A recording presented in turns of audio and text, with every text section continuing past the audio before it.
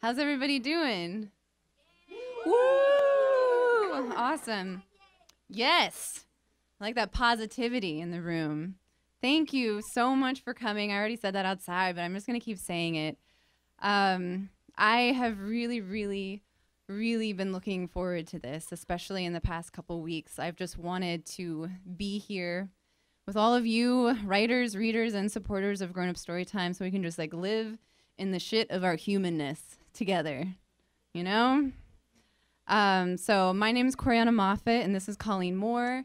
And uh, the third of our trifecta is Jackie Dupre, who runs our writing workshops, who's in the audience today, but we got some of her words going on up here later on. And um, we're Bootown Boston, and we're here to bring stories from the community written by you and uh, put up here for you, read by you. So if you're, you know, readers or writers out there, uh, come come make some friends with us. Although I think we're all already friends already. Um, so this is this is for you. We uh, we're a monthly event at Aeronaut Brewing Company, and um, we invite you there when we're when we're around. So I'm gonna bring Colleen in to fill in all of the the blanks that I have created. I just want to point out that Coriana like practices this beforehand, and she has like this really beautiful poetic way that she's gonna present this to you, and then she's like, "Uh, then we." so when she I'm gonna fill in the blanks, like it's quite literal, but I actually think she hit all of them. So I think we can like start the show. Yeah. Okay. Let's do this. All right. So our first story. Oh, I didn't practice names. All right. That was our first fuck up. The first story is literally story, and it's written by Rachel Schlow. It's Chloe. Okay, and it's read by John Green. Come on up, John.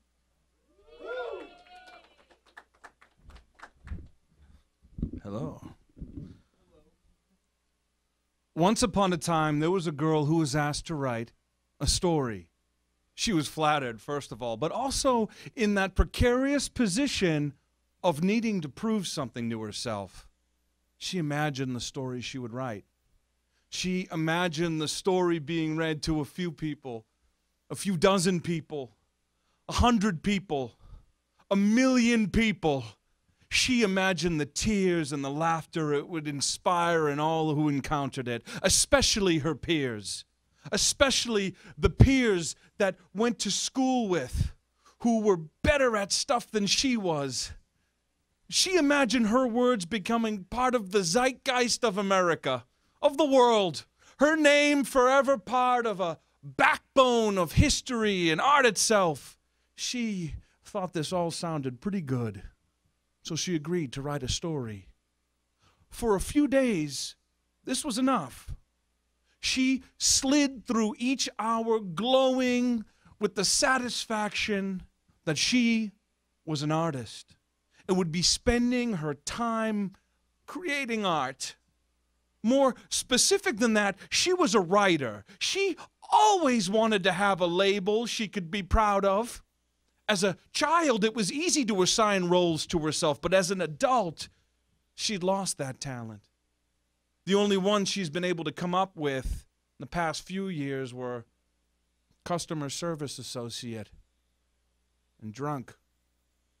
She used to draw and write and read poetry. She used to act and pluck away at her collection of shitty guitars, construct excellent macaroni adventures and valentines. she wasn't sure what happened, but it changed her. She didn't do anything anymore. She worked and drank and pet her cats and sighed a lot. She broke up with boyfriends and stopped calling her parents. Having a label was too difficult. Now, though, she'd been presented a ticket back to a meaningful life, a story. Her head swam with romantic ideations, and the ideas became a narrative, and the narrative unfolded into a movie that played and played in her head, and occasionally rewinding back to the best parts. She remembered what it was like to accomplish something and to feel proud, and, and she wanted it again. She wanted it desperately. Couldn't believe her luck. she got to write a story which would save her from herself. After a few days, the rosy haze lifted, and she actually realized she had to write the story she'd said she'd write. She knew the feelings she wanted her story to inspire, but she hadn't thought much about her characters, the setting, the plot, the dramatic arc, or the dialogue. She couldn't seem to remember any of the good words she used to know. She walked to the bodega and bought a box of wine and thought about it as she stared at her feet on the walk home. Her first idea was a ghost story about a ghost who'd always been a ghost. He was never a person or an animal or something living, just a ghost. He lived in a fire hydrant and liked to spray water all over people, whether they liked it or not. Then one day, a house caught fire, and a fireman attached a hose to his hydrant, and he learned a valuable lesson about fire safety and the sanctity of life. It was a solid enough storyline, but she wanted more out of it. She wanted to fit in a scene where the ghost suddenly became aware of everything beautiful in the world and began listing them more or less like the end of Thornton Wilder's Our Town. Goodbye to clocks ticking and mama's sunflowers and food and coffee and new iron dresses and hot baths and sleeping and waking up. She scrapped the idea because she couldn't figure out why the ghost would care about any of that crap if he'd never experienced it. She was also ashamed at the fact in her head that the ghost was a male ghost and it offended her feminist sensibilities. Still, the idea of a ghost kept her going for a while and she thought about making it work, but never actually sat down to do so. Eventually, the idea lost its luster and she spiraled back downwards, remembering that she was horrible and that writing was horrible. And she didn't know any good words anyway. After a couple of days, she was given a deadline for the story, and she decided to stop dicking around and feeling sorry for herself and try again. This time, she decided she was going to write a funny story that would be relatable and poignant and also convey an important message and be entirely original and unlike anything anyone else in the world has ever seen. it seemed easy enough and she picked a female character this time, who was a living human person. It took place in an alternate universe where time, eating pizza, was a valued talent. And this little girl was a pizza eating champion. And she had come from a long line of pizza eaters and was dedicated to her craft and could at least eat, eat at least three entire large pizzas in one sitting, maybe even four. Uh, but she was ridiculed by I don't know, some dumb girls at school and felt bad about herself. Then something bad happened. Like someone tried to rob a bank, blow up a bank or something, and the only way to save the day was to eat an insane amount of pizza. And the girl did it! And she saved the bank and she saved the world. And then everyone loved her and respected her dedication to eating pizza. She actually sat down to write this story, but only about three and a half sentences down before she felt totally spent. She realized suddenly that she was completely unfamiliar with the psychology of competitive sports and wasn't sure how to express her character's passion and drive. She figured she might have to do some research. Became rather frustrated that her fantasy world had become so complicated. She decided she wasn't a writer because writers are supposed to write effortlessly, especially when drunk. And being drunk wasn't her helping her much at all. For a couple days, she gave up again. She thought of letting everyone down and letting herself down. She thought of how often she'd done those things anyway. She was ashamed. And then she was defiant, then miserable, then hopeful, then resigned. She'd go to work, pet the cats, drink boxes of wine, and always in the back of her mind lay pulsing the story. The story. The story. Write the story. Write the story. Break the cycle and enter a world where you're still a customer service associate and a drunk, But you also wrote a story. J- just one. Just one. She fell asleep one night with her light on and found herself having a deep and elaborate dream. She dreamed of a big tent and a sand dollar and a ghost and a pizza. She dreamed of dogs, thousands of dogs in little houses and flat roads and trees hovering over an ocean. In her dream, she opened a bag of caterpillars. She raised birds in a nest in her hair. She kicked a box which stuck to her shoe and devoured her foot. Her hands turned into water, and she washed her car with them. Her bed was covered in vanilla frosting. She dreamed of food and coffee and new iron dresses and hot baths, and she dreamed of sleeping and waking up.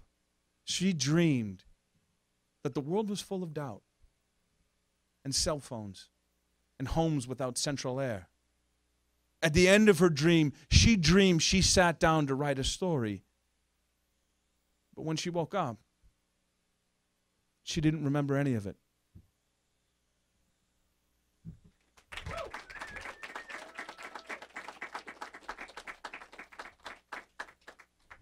Thank you. I'm going to let Colleen introduce the next story.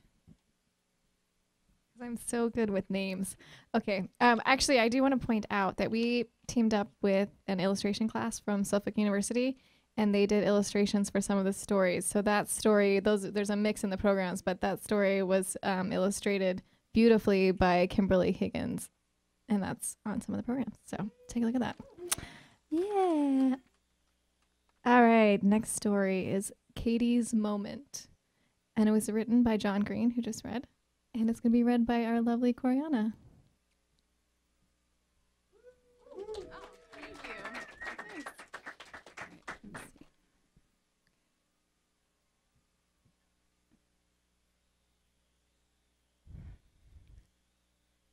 I felt the familiar weight of a body gone slack above me.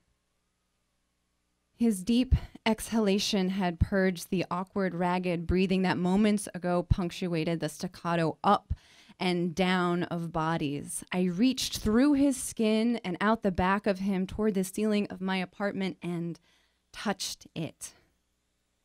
With my mind made up to hold on to time for a second. I needed to think. I think a lot.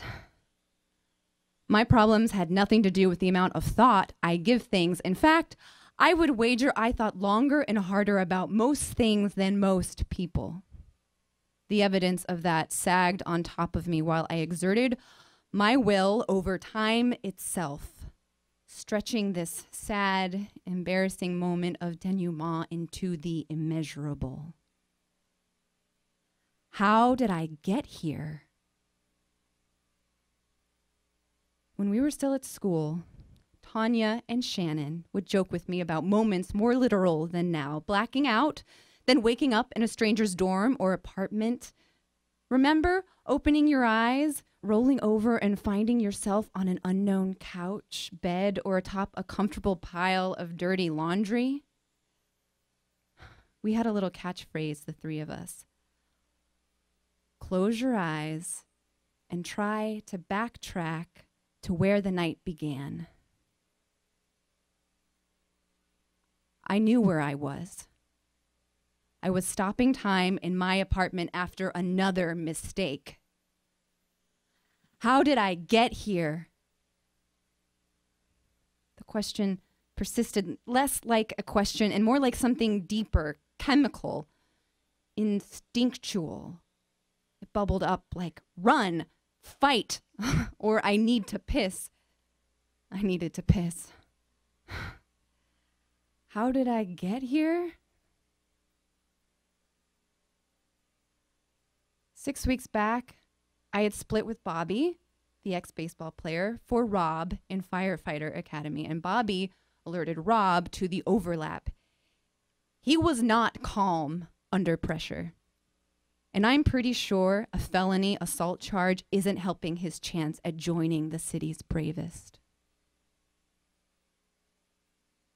I had gotten the girls together for what was supposed to be a night of commiseration and the appropriate emotion numbing, self confidence boosting, mistake filled, wine fueled bender.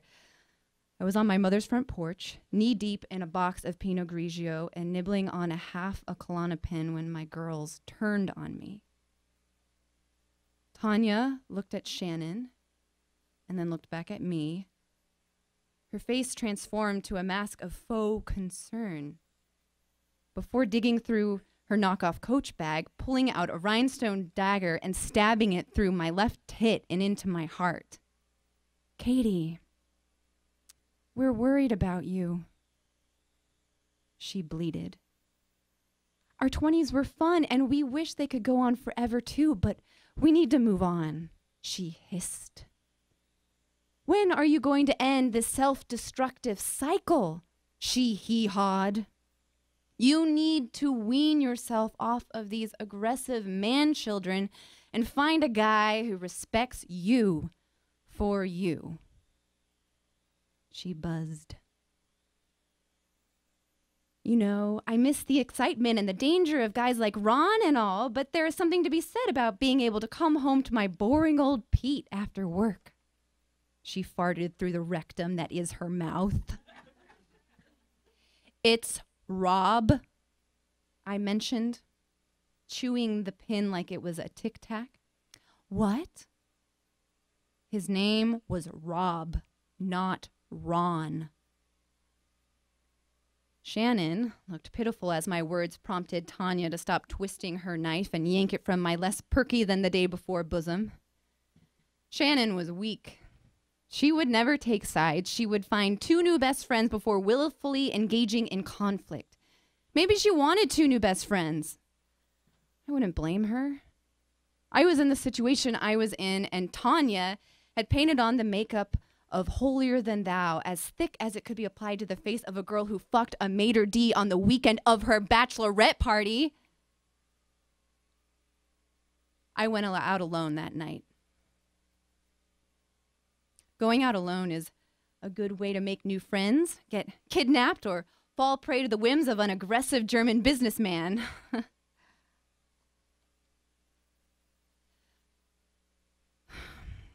Two weeks later, I met up with the girls for brunch in an effort to let vodka, horseradish, and tomato juice wash away the bad taste of our last encounter. Pete has a work thing on Wednesday there are going to be some nice guys there. There is this one guy I think you might like. He used to have a wild streak in him, I guess, but um, Pete said he's cleaned it up. She oinked at me. Sounds fun, was what I managed to respond with instead of, Remember that Dutch guy we had a threesome with while we were both dating other people?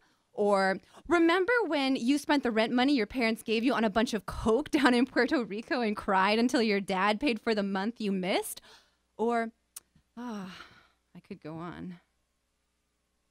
Sounds fun, kept Shannon feeling comfortable. Maybe she didn't need two new best friends. She probably thought while mentally thumbing over the new number in her phone and contemplating hitting delete.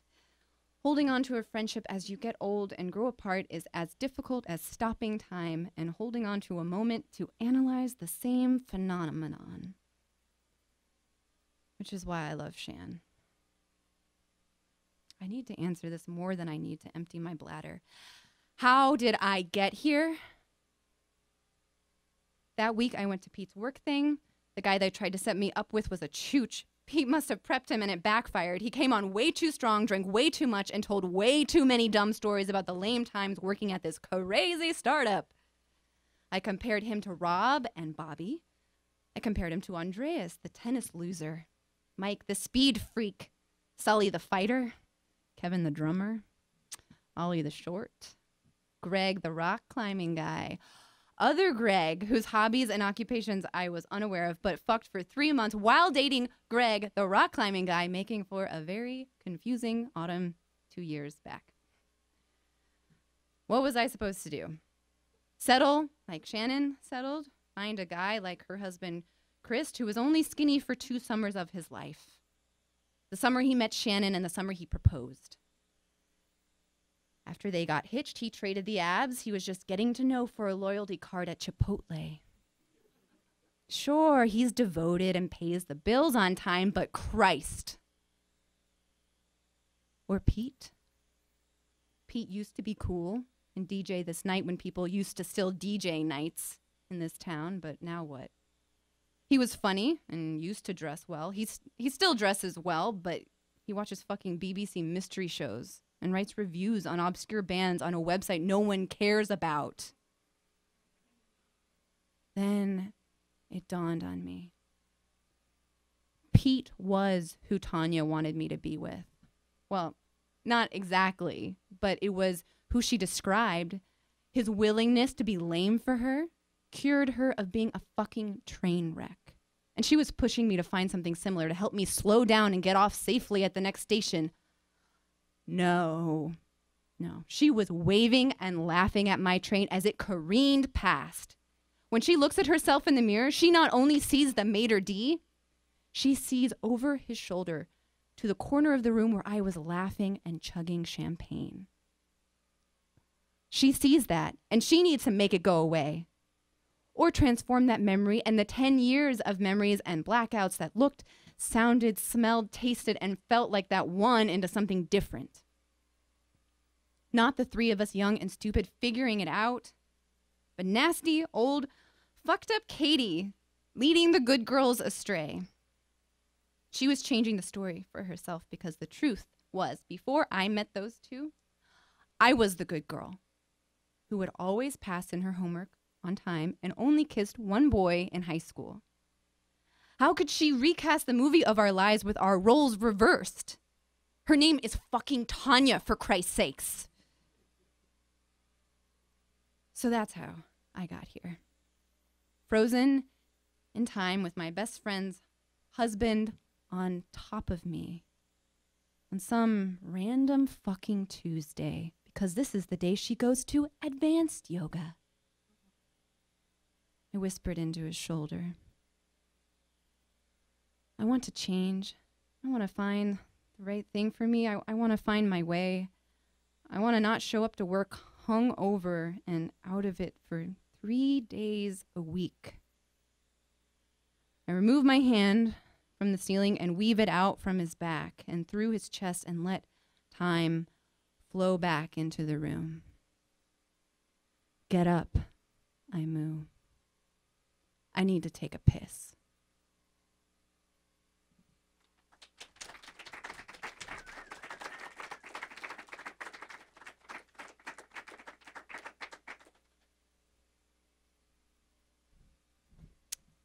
Okay. Well, I do Oh, want. Oh, you want to do something? Oh, I yeah. wanna I want to say the. You want to say something too?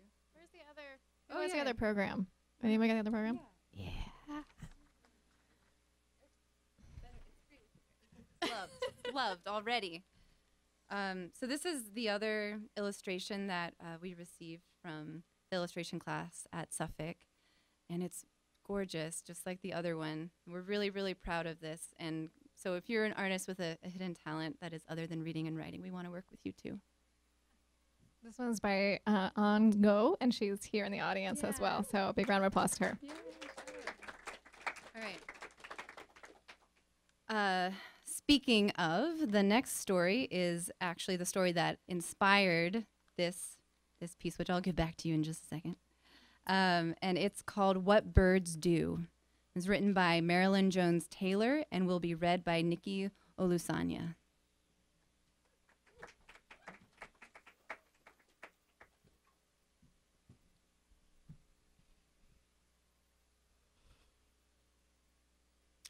I just moved back to Portland. Not a good idea to hang out with my old drinking buddy Harry. So I went to an AA meeting at a sober club in southeast Portland. I'd smoked some weed during my year in Eugene, of course, but I still hadn't had a drink in five years. Hanging in a sober club wasn't that different from being in a bar sometimes, just without the booze. Sometimes a good place to hook up, you know, either with an old timer or a newcomer. The long room looked like a cafeteria with tables and rows across the room. The speaker and chairperson were seated at a table in the middle of the long side of the room, coffee and cookies on the left end. About 45 people scattered around the room, a few groups and pairs, solitary people spread here and there. I sat well away from the other people, slightly house left of center, back two rows. Just a regular meeting, though there were some slight differences between the meeting in Connecticut and Oregon, I discovered. Anyway, I'm headed over to the coffee table to scope out the crowd, and this long, lean Oregon country boy starts talking to me. He looked good and like a man. He stood about six two and wore jeans like only an Oregon country boy could. Not so tight he could move in them, but I could still see what he had in them. Only six months sober, so th- he thought that he was cured. So we're talking and planning on going out on the weekend. Cool. I'm thinking, cool. I'm glad I held on to one of my East Coast summer dresses just in case it got hot like this. He gave me a ride home. Promises of more hid behind the light kiss goodnight. Yes. A couple of days later, while I was still unpacking, I heard a knock at the door. Who knew I was here? Through the peephole, I saw that Oregon man holding a bird cage and a 7 Eleven soda cup. Hey, Lulu, it's Tim, he drawled. I got a favor to ask you. Not wanting to appear too anxious and excited, I waited a beat before I opened the door. I greeted him with my best and most welcoming smile. Listen, I was painting a house today and I found this bird. Must have fell out of his nest, he drawled. I got some worms in here in this here cup and I'm wondering if you could take care of 'em for me. Before I could open my mouth and tell him I wasn't an animal person and birds gave me that fluffy feeling, he said, I'll give you 20 bucks a day. I'd be happy to take care of your bird, Tim, as long as you like. I wasn't working yet, and that $20 could come in handy. Great. I'll stop by every evening to look in on him, okay? You kidding me? Sure, it's okay. I didn't say this out loud, mind you. The first time I took the bird out, I noticed him just pecking away at the porch. Well, I guess that's what birds do. Birds like to peck. So when Tim came over after work, we'd take the baby into the schoolyard across the street from my apartment to practice being a bird. He couldn't fly yet, so he was safe pecking around and exploring the schoolyard. Then Tim decided that Bingo would be better off in the country at his place, in his natural environment. And when I started spending nights with Tim, he thought I might be better off in the country too, and I should move in with him. Tim taught Bingo to fly by holding the bird on his index finger and then pulling out, forcing Bingo to flap his wings. Soon our baby was flying to the porch railing and then to the clothesline and then to the shed, but he always came back to Mama and Papa. One day, Bingo flew high into the tree, and we were so proud of him. He never came back that day or the next. We waited and watched for two more days. We realized our job was done. And as we sat on the porch swing that evening, gazing at the stars, Tim said, That's what birds do. Thank you.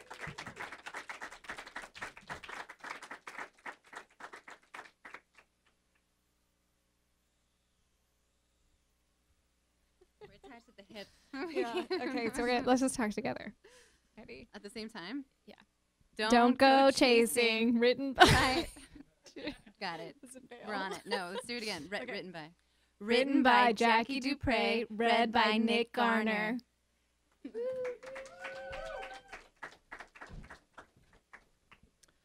Uh, before I start, I just want to say that this is a fictional story, but it resonated with me on a very personal level. it's called "Don't Don't Go Chasing." Water fountains, babbling brooks, streams and rivers of all kind. Really, these are the things that kept popping into Harold's mind as he crossed his legs tightly on the train. Relief would be coming in the form of a urinal, perhaps an alleyway dumpster. All he had to do was hang on. Don't think about waterfalls, Harold thought. It was a painful type of pressure, the kind that someone, after a healthy dose of, say, tropical fruit punch, or Hefeweizen, or chicken stock, might experience. Harold so desperately needed deliverance, but if even imagining such a release could result in a giving of the bladder muscles in such an inappropriate place as the orange line, he decided that it was better to just not think about it. Babbling brooks and waterfalls. Stop trying not to think about waterfalls, Harold thought. It had been over an hour since the train left downtown crossing, and the car was a twitter with speculation. After traveling only three stops, Harold's car had halted in the midst of the blackest tunnels. And so it goes without saying that with no phone reception and with only the most mundane of medical study advertisements to entertain them, people began to talk. This happened to me one time, and it was a lady that literally decided to whip out her tit and breastfeed a baby, like right there. And this guy, he like he like tried to fight her. Said too tight David Bowie shirt guy. what? Exclaimed the 32 year old woman with the impeccably tilted trucker hat. Who would fight a lady with a baby? I know. And then she was like trying to ask him for money for like pain and suffering or something. And he was all like wearing this suit. What? Why would you try to mess up your suit like that? That's fucked up. It was hot on the packed train. Harold loosened his tie as he listened to David Bowie's shirt and trucker hat and weighed the probability of another potential lawsuit rousing baby feeding incident. There was something vaguely familiar about Bowie Guy, but as Harold tried to place him, he watched the pit stains grow to the left and right of Ziggy Stardust's head. The pit stains, perspiring, trickling, waterfalls in his coveted seat. Harold started to bounce his knees up and down as he slowly rocked his hips from side to side. I am going to make it through this. I am going to make it. I am stronger than my bladder. Harold thought. He could feel the act of disdain coming from the woman sitting next to him, and he didn't care as much as he usually would have. This was a battle between him and his urinary system, and she had no business bothering Harold with her uncomfortable shifting and overtly substantial throat clearing. She had a clear aversion to his peepee dance, and Harold discovered a certain calm in hating her for that.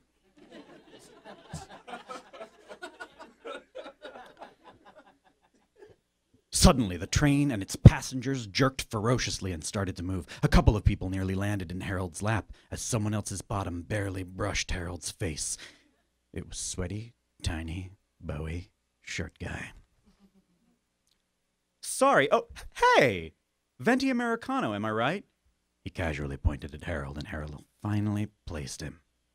Yeah. You got it. Nice to see you. He turned back to Trucker Hat, and perhaps more loudly than he intended, said, That guy drinks so much coffee, like way more than anybody else I serve. I'm pretty sure he came in like three times today. I don't know how he doesn't have to piss like literally all the fucking time. Harold shot up out of his seat and started weaving between passengers toward the doors. For the first time, it occurred to him that he might not make it to the relative safety of an alley or a public restroom.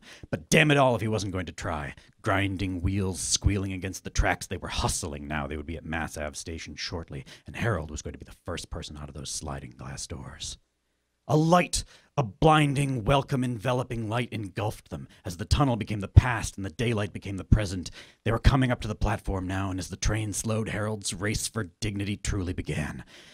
The anticipation of being so close was ever so slightly loo- loosening his grips on his faculties, and it took every ounce of strength to maintain that grip. And then, in front of him, the doors were open, and Harold flew.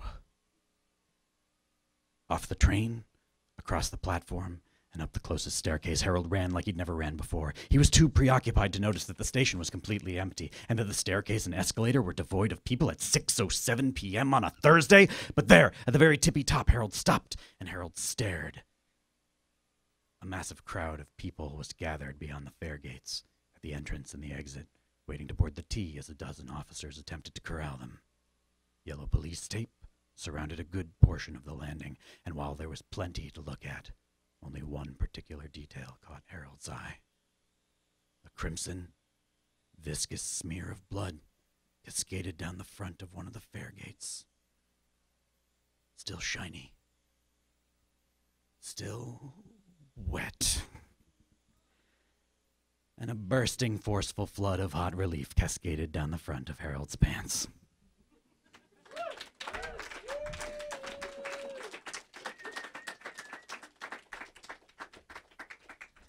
Oh my god. Whew. That's my response. I have to say, okay, as much as I love Nick's reading because he always does an amazing job, I sort of miss when he's not in the audience because he's also one of those people that like randomly will just be like, ha! And just like, you're like, oh, that was, that was funny. Okay, cool. Oh, you wanna do sing it? Yeah, you do m- Me turn. Me turn. Ooh, yeah. it's for me to know and you to find out. How I Forgot You, written by Kelly Smith and read by Victoria George. Woo.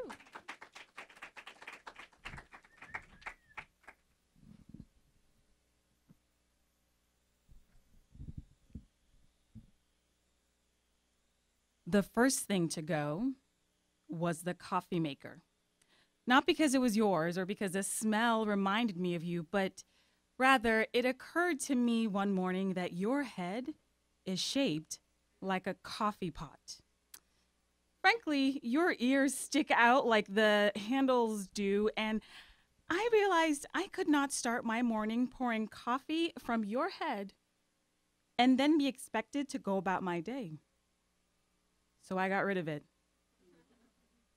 And I forgot about it. Other objects in my apartment went next. Little things like pictures were changed out of frames, and then frames were eliminated altogether. Vases became bags of shattered glass to take out with the trash. Placemats became doormats, which became welcome mats until they were dumpster insulators. Forks had no home here. I pulled books off shelves, wrenched the words we loved from their spines, and tossed the pages down onto the streets below. But I uh, ran downstairs and caught them before they hit the ground. I couldn't have strangers picking up the pages and reciting them to me if we ever crossed paths. I emptied my arms full of words into the barrels I found behind our Chinese restaurant three blocks up, smelling of old lo mein and crab rangoon. I hoped it would suffice. Our couch was fatally infested with kisses and Sunday morning cinnamon rolls. So I watched the moving men drive it away from me, and I waved and hollered, Goodbye, old couch. I'll miss you. Never. The rest of the furniture soon followed with the same gusto. But standing in my empty apartment, I ran out of things to forget. And I hadn't forgotten you. So I left. Once you start forgetting and eliminating things, it becomes easy to keep going. I walked further from my apartment. I closed my eyes and forgot restaurants we liked and hated, parks we had laid down in. Goodbye, bench. Goodbye, graffiti. Goodbye, hat. Blink. And it never happened. I eventually forgot music, but I didn't lose sound. Instead of notes and pregnant chords, I gained the buzzing of mosquitoes, the crinkling of paper, the hum of computers. I gained constant sound. People were harder. I separated from all the Andrews I knew, which was a shame because I had a fine dentist named Andrew and even a childhood dog. I was sad, but the Andrews had to go. I forgot, and I forgot until I had nothing to remember. But how do you forget a word?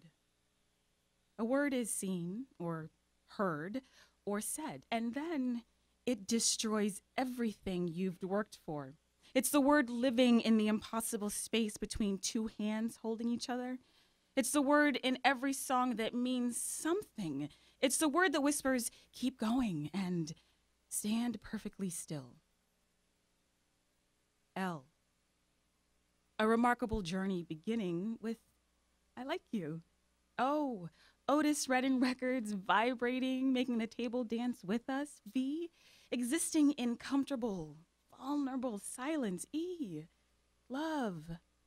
Like caramel and euphoniums. How do you forget a word? How do you forget a word? I returned to my apartment exhausted.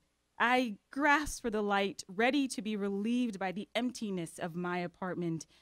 But instead, the light showed me all the memories I had forgotten to forget. Our first date in Providence stood next to a fish called Wanda.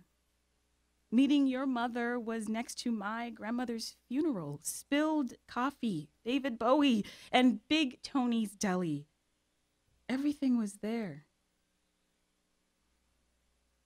These were the memories that had no couch cushions to bury into, no books to hide behind, no dust to take cover beneath. I never forgot you. I missed you. We sat on the floor, each memory and I. We had a cup of tea, and I let them remind me of what they were and what they meant. I moved between memories around my apartment until the night told me it could no longer wait for day. The sun began to rise as our final argument quietly grabbed its hat and passed through the door. I sat and I forgot about forgetting you. Eventually, I think you don't have to forget in order to remember without pain.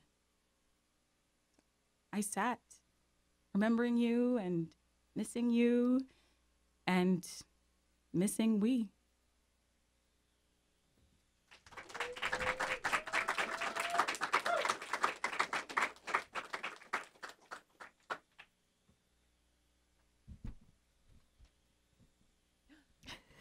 we have no plan, so literally like every time. Like, wait, what are we gonna talk about? Okay. You um, Yeah, let me do this one. okay. Um, this is Stall Shy. This story was the first story read at our very first grown up story time in Boston. the memories. Um, and it just so happens that it was written by Colleen Moore. And it will be read by the original reader that very first night, Allison Bodsnick.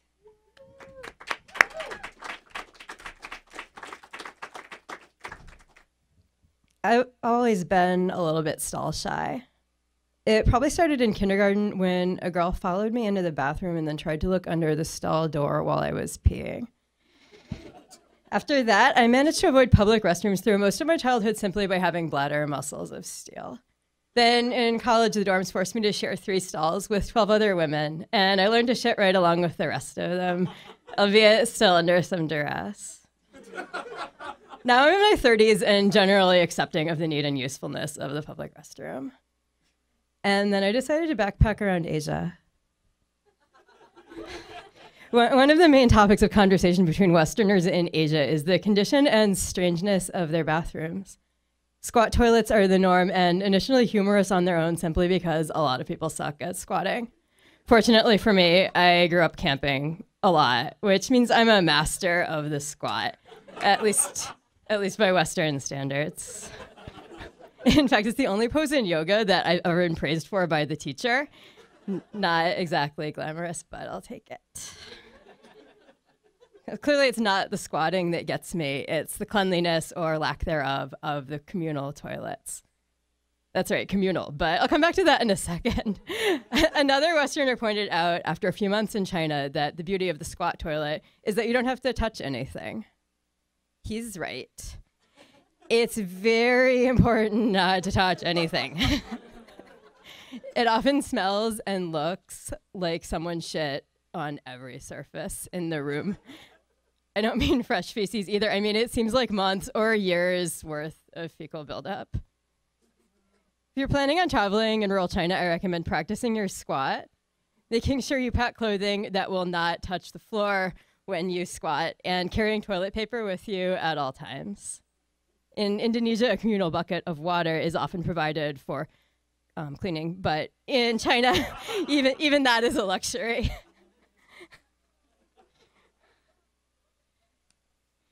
that brings us back to the communal toilets. In China, there are rarely stalls, or if there are stalls, there are no doors. Sometimes the toilet is actually a long, narrow trench that you squat over, and occasionally water flushes through. The flush tends to happen at the most inopportune times, forcing you to do a one legged squat in order to get enough height to keep from getting splashed by the raw sewage rushing beneath you. If you're unlucky enough to find yourself in the open trough style toilet, it's up to the individuals to station themselves far enough apart to not shit or piss on each other. On one particularly long bus ride, my stall shyness was truly tested. The trip was supposed to be about 16 hours on a sleeper bus, meaning there are beds on the bus. Beds, but no bathrooms. And the drivers seemed to dehydrate themselves in order to continue eight to 10 hours without stopping once. To cope with this, I also learned to dehydrate before getting on a bus. When a bus did stop, you'd have seconds to decide if it's a bathroom break and then quickly run to get into line. I'm guessing the driver made some kind of announcement in Chinese before the stops because everyone always seemed ready to depart, and I was usually the last one in line no matter what I did. On this particular bus ride, my sleeping space was a short, narrow mat on the floor that smelled of old sweat and exhaust fumes. It was the middle of the night, and I was hunkered down on the mat, happily watching a cockroach crawl across my blanket, happy because I knew it wasn't a bed bug. Suddenly, the bus came to a stop.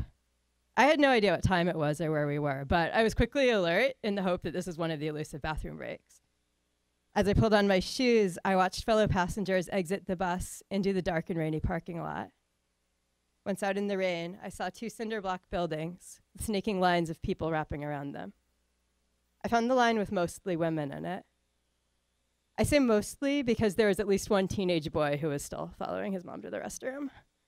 I would say this was creepy, but I'd already witnessed multiple little emperor incidents in China and had come to expect this level of coddling. He wasn't a pervert, just a man who was still being treated like a two year old. When the line finally progressed enough for me to get into the building, I realized in horror that, that this was my nightmare bathroom situation come true. Not only was it the now infamous trough style toilet, but there were no partitions, and the line of people waiting for the bathroom stood in full view of all of those actually using a toilet. If you ever waited in line for the bathroom at a bar on a busy Friday or Saturday and you've wished the lady who just went in would pee a little faster, imagine if you could actually stare her down while she peed. That's the hell I was in.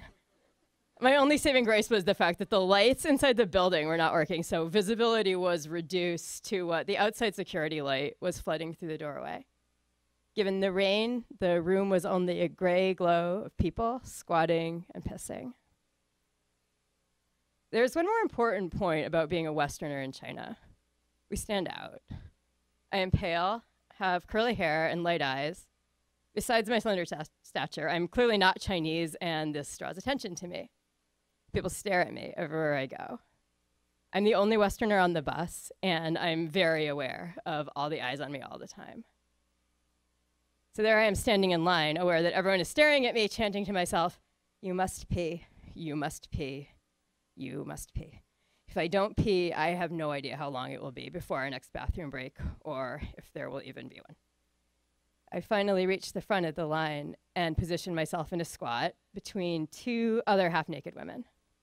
I silently hope I've given everyone enough space, but I'm also aware of the line waiting. You must pee, you must pee, you must pee. I continue to chant. I'm squatting with my pants down. Please relax, muscles, please pee in front of this audience. It feels like eternity. And then it gets worse. Someone finds the light switch. Suddenly, my bare ass is in full view, and my inability to pee in public is now on full display. My internal chanting, you must pee, is now screaming and panicked, play, please, please, please, please pee. If I don't pee now, everyone will also know that I squatted and didn't pee. The gossip on the bus will be about why the white lady went to the trough oh, she didn't need to pee. Please pee. I wait. I see the teenage boy in my peripheral vision staring at me. Please pee. By some miracle, my muscles relax just enough to allow maybe a quarter of my bladder to empty. I consider it a win. Safely back on the bus, I snuggle up with my cockroach friend and try to convince myself that this was a satisfying bathroom break. Therapeutic, even.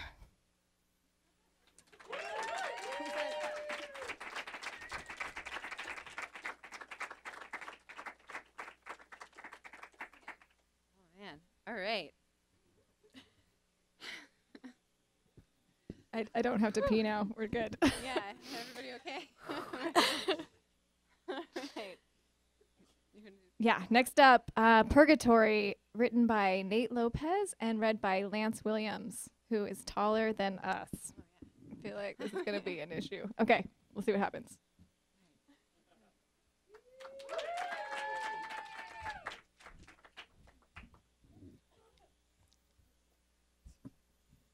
Not that tall. Th- This story is not going to make much sense. I already know that now, so sorry. But all of it is 100% true. All of this happened.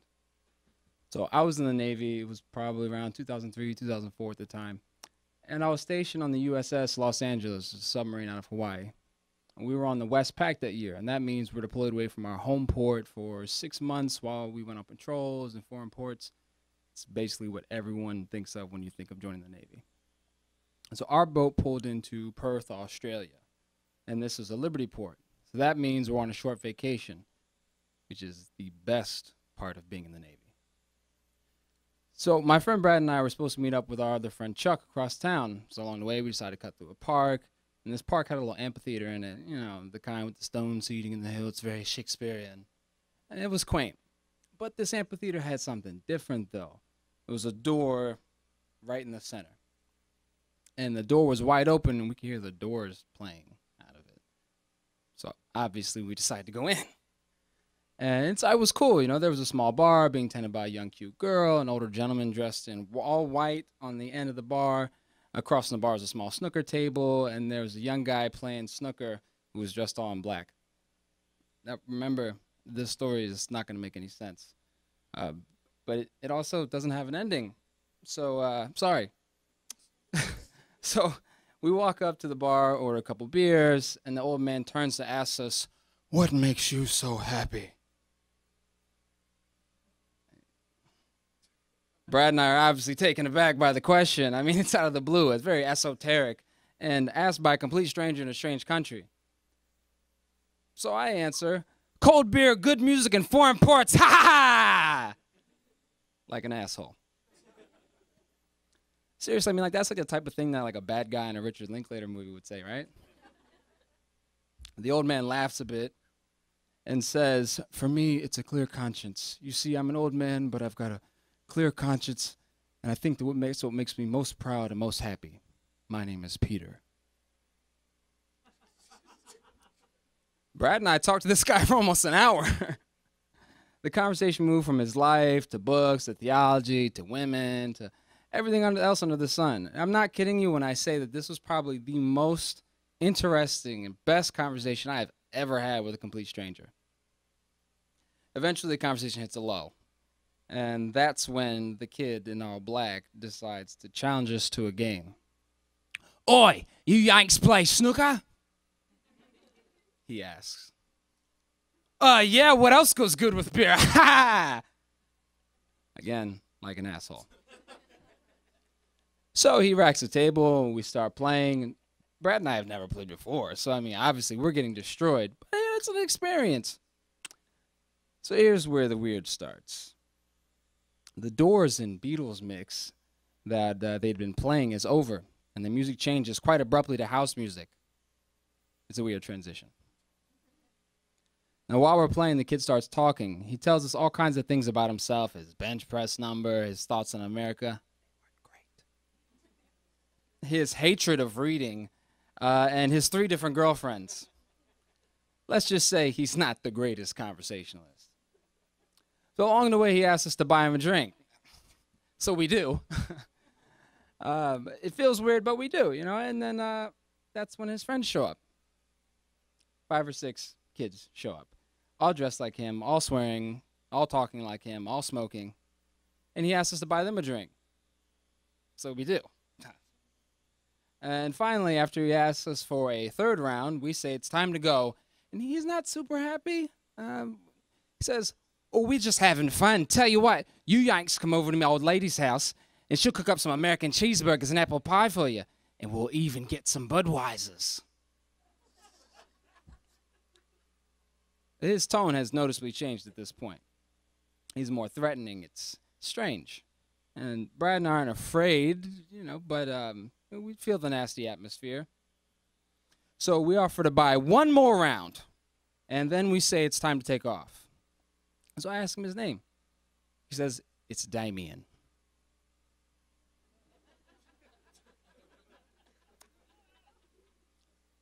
So we leave the bar and we head over to meet up with Chuck. And along the way, we start talking about the bar, and something occurs to us.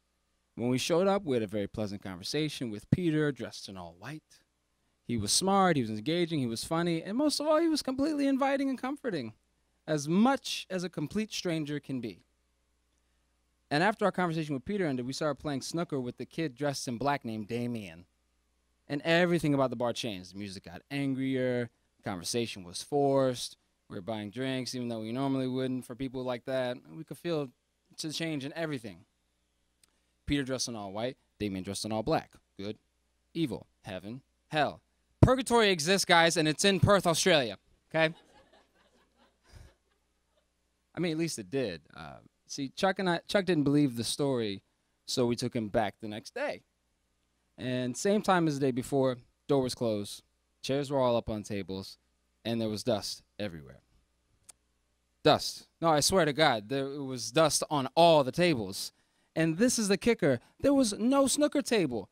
Brad, Chuck, and I stayed out until 8 a.m. that night, and nothing else really important happened.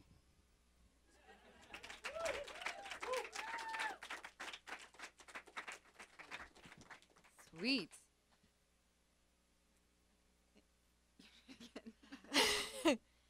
the right way to run away from your feelings for a lover. We all know how that feels.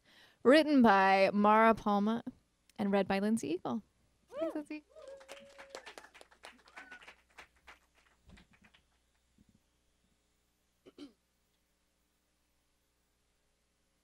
I am a 20 somethings young adult. And as such, I like to think that I'm quite experienced in matters of love. So recently, when I found myself pining for someone, something I hadn't felt in years, I was thrown aback at the force of my own feelings.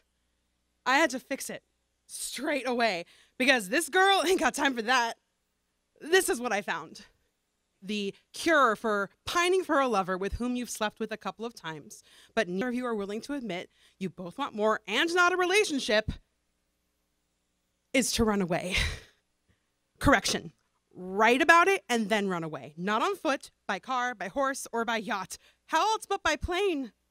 Fly away as far as you can. Here was the situation. Okay. I meet someone at my job. As actors in, in Boston's small but mighty theater scene, you get to know the local ecosystem pretty quickly. Us actors, our work is people. Watching, imitating, lifting characters from the page, and living in their skin for an hour or two. I watch this other actor at work in rehearsals, their script analysis, their movement work, and how they live in their bodies, mm, their personalities threaded into the characters they create on stage. There is nothing more attractive than seeing someone's passion and commitment to our artistry. We already have something in common, and his attractiveness level goes from zero to five. I am drawn to him. But I am usually drawn to many of my other coworkers and fellow actors, so I acknowledge that small flicker of feeling. Let it be. Yet, while I'm spending time with him in the rehearsal room, we're surrounded by other people. That's a no go. Ah, but wait. We take the same train to go home, and we start talking, decompress about rehearsal. Those first few times are all about gathering information about him. Conversations range across all topics, and I find he can hold an intelligent, engaging conversation. He can even ask me questions and challenge some of my statements. A person with a brain, hot damn. His attractiveness level goes from 5 to 15. Time together outside of rehearsal gets extended over drinks and food. I learn more and more each time. That small flicker of a feeling finds some kindling and something in me stirs. Tech Week hits, aka Hell Week in the world of theater, typically the busiest, most stressful week before a production opens. Tensions are high, self control is low, frustration is high, drinks imbibed his number is the highest. One night, I invite him over to my place for drinks, I say. I'll be there in five, he says. In my apartment, I panic. Is that like a soft five or like a hard five? Hmm, maybe I will find that out later tonight. Oh, I gotta get my head out of the gutter.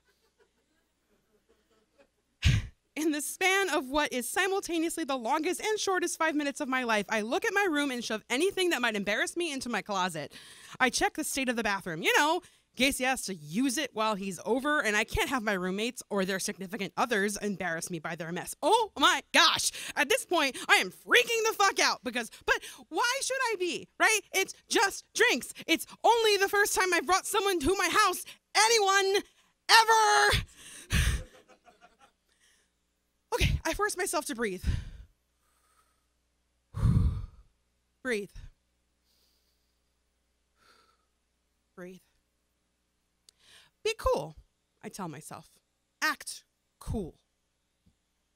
The doorbell rings, and I let him in. I try desperately not to make it too obvious how much freaking out just happened in the span of five minutes. In the back of my head, a part of me thinks this might be it. I am having sex tonight. That part of me laughs with pleasure, but the larger, more rational part of me dismisses thought because I reason, yeah, right. He is out of your league. You are coworkers. Remember that rule you have on working on any show, business before pleasure? I should have known better. I'm an actor. My business is pleasure, not like that. And I know what you're thinking. Yes, you. I'm an actor. And I should have known better than to doubt that subconscious voice in my head. I should have known better than to doubt when you feel that chemistry and attraction to someone. So when he and I start drinking in my kitchen, having a fantastic time, subtly and coyly finding out more about the other person, teasing each other and laughing as easily as the beer and whiskey comes pouring into our respective glasses, is it a surprise when we end up in my room? Maybe.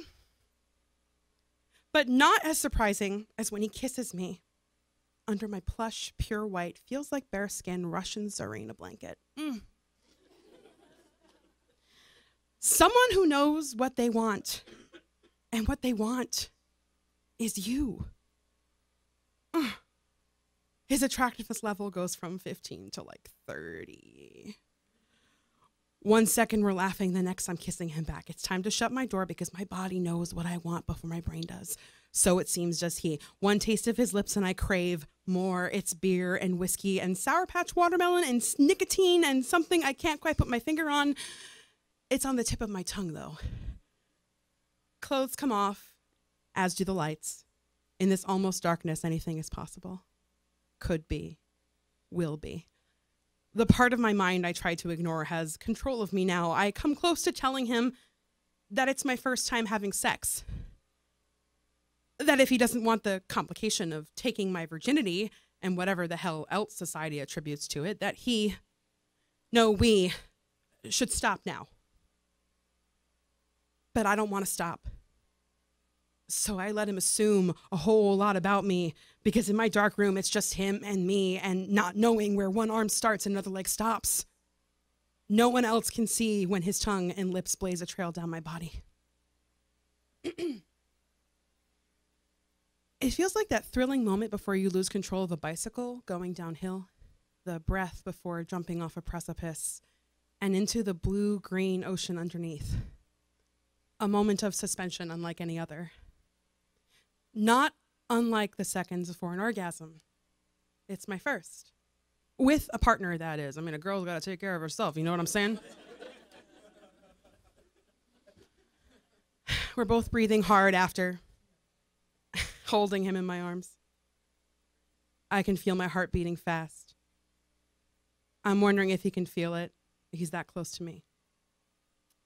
There's not much I can say in this moment. It's a dizzying potion of calm, of looseness, of laughter, of satisfaction. So naturally, when he asks me gently, Hey, you okay? All I can say is, Yeah, just processing. Which is code for, I just had sex. a la Lonely Island. Some pillow talk happens too, so I guess Zane was onto something. Mm. Before I know it, he has to leave. I hear the surprise in his voice that I would walk him out. It's an unexpectedly vulnerable moment for both of us, I think. The parting kiss out on my steps under the stars is enough to keep me in a haze even when I try and go to sleep. But wait, I was supposed to tell you how to cure a pining heart. Hmm? When you sleep with someone one time, okay, and another, and another, and another, but your show or gig ends and there isn't any natural way to spend time with him, but you start wanting to spend time together, what do you do? I drum up the courage to ask him if he slept with me because of the stereotypes of actors dating each other. When he says no, to your relief, and asks me the same, I say no. We were essentially admitting that we might like each other without saying the actual words. What do you do? You've again come to this moment before a precipice, the suspension, the unknown. No one makes a clear move. Frustration, sexual or otherwise, ensues, at least on your end, but on his, unclear, unsure, more frustration ensues. So, so, a recipe for the cure. Number one, run away. Yeah, fly away if you can. Drop hints to this lover in question that you're going on vacation to see a friend. Gender of friend can stay ambiguous for extra mystery. Which is code for I'll be out of the state and probably and the probability of our having sex will soon drop below zero. So get on it if you want some, because I know I do. When you accidentally run into him on the train, he might ask you where you're going and when you're leaving, and then neither of you makes a move. Again, frustration. Step two get on the damn plane that you paid for with your own damn money. You know why? Because you are a grown ass woman who is fierce, flawless, and feminist and frustrated as fuck, but who cares? As you sit on the plane during takeoff, you feel the distance grow between the two of you and hope. It helps you forget about this lover in question. Step three think about that lover you with your lover, your lover with you, throughout the vacation. In your mind, sometimes you play out the fantasy. Correction, fantasies. Other times you yell at yourself to get over said lover. You've got to stay in the moment, baby. You deserve better. Every time you check your phone expecting a text and there isn't one from this lover, remember that you are a grown ass woman. You have tons of other people you could be texting. Step four write it away. right away. On the plane ride back, roll T Swift style and write your, out your damn feelings. Words have always soothed you. With words as your lovers, you have complete control of yourself, of the stories you write, of what happens next. With words, you can always create, craft, sculpt, refine. That makes you feel some agency again. Speak what you hadn't dared to say before. Imagine possibilities that have only ever existed in your quietest, darkest moments because maybe, just maybe, you haven't quite gotten to the ending of this particular story. I know I haven't.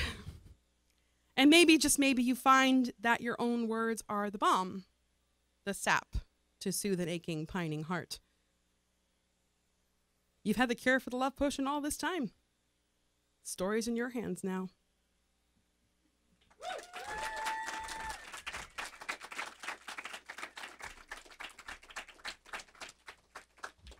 Man, I forgot how much I love some of these stories. I also want to point out that I caught myself squatting through the whole story. No, so- I was so impressed. I was like, she does have the skill. I was like, oh my gosh. Um, so we're right up to our last story. Just gonna put that there. Um,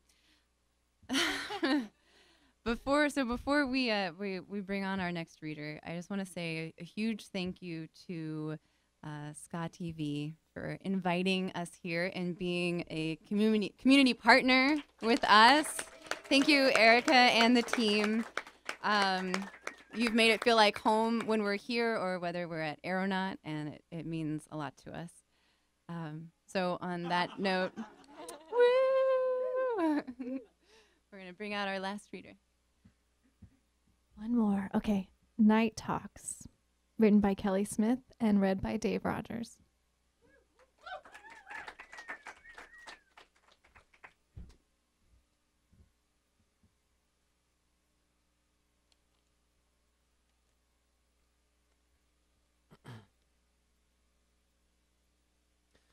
I was sitting outside on the porch steps, breathing in 2 a.m. night air and listening to the muffled sounds of the party inside. I heard the front door open, and a few footsteps later, Brian sat beside me. We were friends in the way that fades after college, when location drifts you apart. But at the time, our friendship was essential and ablaze. We talked about the play we were working on and sipped our beers, pausing to look at people stumbling home in newly formed pairs and to look at the stars. After a few quiet moments, Brian turned to me, eyes glistening, and asked, Why do you think that I should live? Why do I think you should live? I looked at Brian, and then I looked down into my red cup and divined nothing from the PBR. I knew the answer was somewhere inside of me, but suddenly all of these reasons to the contrary kept popping up because terrible things, big and small, happen all the time. You miss the 66 bus trying to get a jo- to a job you don't even like. Your first dog dies. Your student loans are never ending. Your favorite band breaks up. You sleep with someone you barely know. And after, they play acoustic banjo covers of Nickelback and Linkin Park. Their favorite bands. Your hair starts falling out, and you don't know why. Sometimes the terrible thing is, is just a Thursday, and a stranger on the internet tells you to kill yourself. You turn on the news to see devastation around the world and in your hometown. And you think about how the dinosaurs had no idea the meteor was coming, and how the floors we stand on and the beds we lie in will eventually become dust after we do, and how literally no one knows for sure what happens after we die. Someone you love can turn out to be just as flawed as you are. Someone you love can decide not to love you back.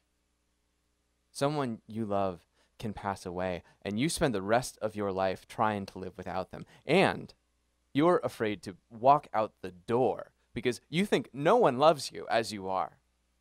Because you think no one will love you as you want to be. because you think you'll die. And people can be really, really mean. Maybe the terrible thing is that you grow up, but sometimes it's nothing you did or anything that happened to you at all. Just the wiring in your brain gets glitchy. And all of these terrible little things can weave into one giant net that traps you and hangs you upside down in the shadows with no escape. So, why, against all the sadness and darkness in the world, do I think you should live?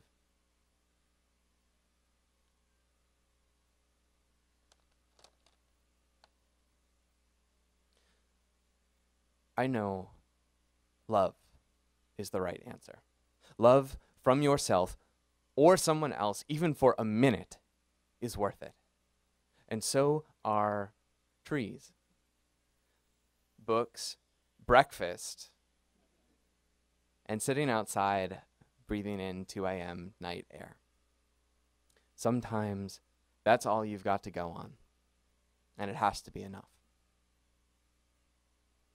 My friend Brian did eventually shed her Brian skin to reveal the radiant Elizabeth that was always inside. It's perfectly okay to feel both infinite and incomplete. But it's hard to remember what love feels like if you are shrouded in sadness and if you feel you've never known it. So I promise you, I will sit and talk with you until the choice to live isn't ours anymore. And then our souls will trampoline into the sky and discover all the secrets of the stars that scientists spend their lives searching for.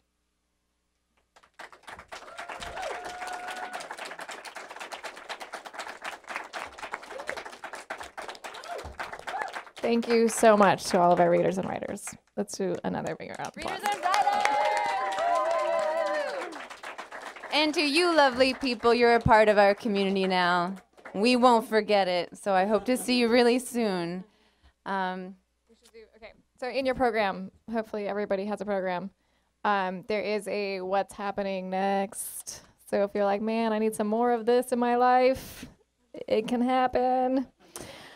Uh, so on 1120, we've got a writing workshop. So if you're like, man, these are really cool stories, and I think I have something to say, you can come to the writing workshop, and we'll help you put it on paper. And you can, uh, it's actually like a workshop, but you can also just come and like write with us and hang out. So that's cool. Yep. that is at Aeronaut. So we just hang out there. We we camp out at a table. Sometimes they give us snacks and stuff. It's kind of cool. I'll keep going. Okay. I was like, should I should I stop? Okay. Uh, and then our next show is in December. So it's December 14th, and it's kind of a special show. If, you've been to other story times, they're usually at Aeronaut. They're usually an hour. This time it's two hours. We're gonna be in the main room. Yeah. And we have a musical guest. We're like a really cool show. So our musical guest is an Nemesis, who's actually here tonight, or two of the three. So big thank you to them. Um, so yeah, that's gonna be on the 14th at 7 p.m. It's gonna be like a fun hangout, ridiculous time. So get on that. And uh, at the bottom, if you want to get involved in any way, shape, or form, you want to volunteer, you want to make flyers, I would love you if you want to make flyers.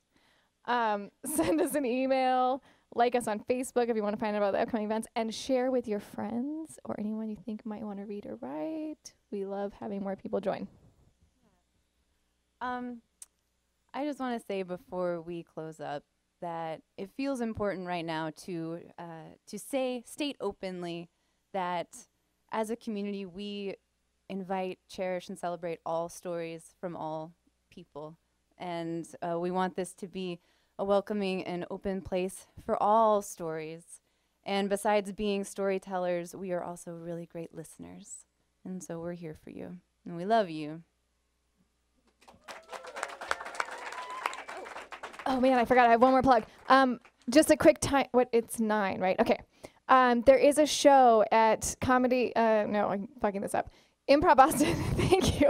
Improv Boston, which is in Central Square on Prospect Street at 9:30, and it's called the Kerfuffle. And our lovely host, who's hosted here before, Jackie Arco, is um, it's her show. She puts it on, and Nate Lopez, who actually wrote the story Purgatory, is hosting with her tonight. So I'm not kicking you out, but if you want something else cool to do tonight, get your ass to Central Square and go see an amazing comedy show. It's also like locally done, and it's it's it's awesome. It starts at 9:30, so you have time. But I'm kind of kicking you out if you want to go to that. If you if you don't want to go to that, we I think we have some more Gansett. House and drinks. Yeah. Okay. Cool. Thank you all.